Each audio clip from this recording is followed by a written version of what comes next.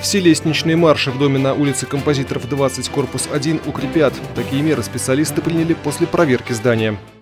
Исследования показали, все лестничные марши дома имеют те или иные дефекты, правда незначительные. Где-то оголена арматура, осыпался бетон или обнаружена коррозия. В связи с этим управляющая компания усилит конструкции пролетов в парадных. Кроме того, за состоянием маршей будут пристально следить. Все работы коммунальщики планируют провести до 1 октября.